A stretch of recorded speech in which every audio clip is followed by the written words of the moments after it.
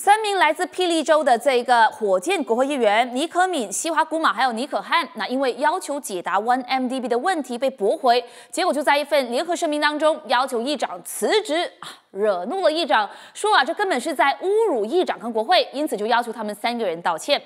那但是这三位 YB 啊，还真的是站得很硬哦，不道歉就是不道歉，还说如果国会议员不准在国会提问伊马公司的课题，难道要去巴萨提问吗？那今天惩罚来了。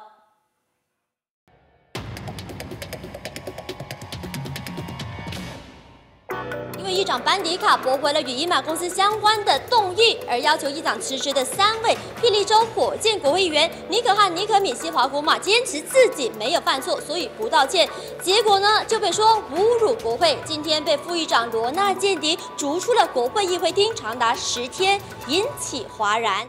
saya memerintahkan yang berhormat Bruas, yang berhormat Taiping dan yang berhormat Batu Gajah keluar dari majlis uh, sebelum mesyuarat selama 10 hari mulai hari ini Isnin 20 Mac 2018. Uh, Saya minta bentera untuk menjalankan tanggungjawab.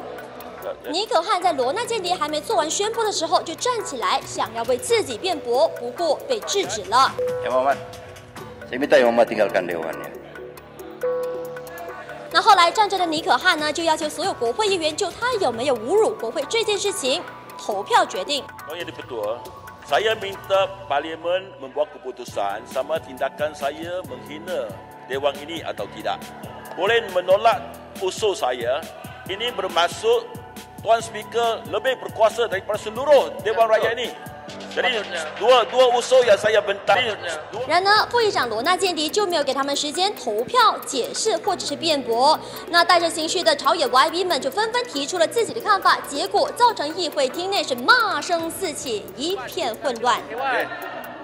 Kalau dah biadab, keluar lah. Kalau dah biadab, keluar. Get out, get out.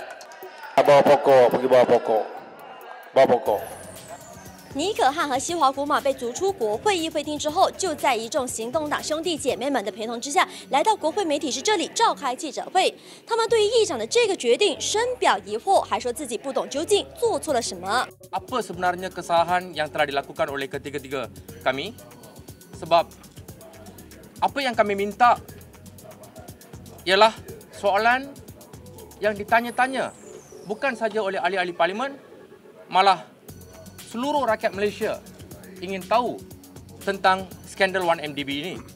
此外，他们还质疑议长班迪卡是不是自己当法官违反了国会规矩，因为他们是在议会厅外促请议长辞职的，为何会援引议会常规来驱逐他们呢？那然而，本届国会还有八天就结束了，他们三人这么被禁足，意味着他们没有办法参与选区重划报告以及假新闻法案的辩论与表决。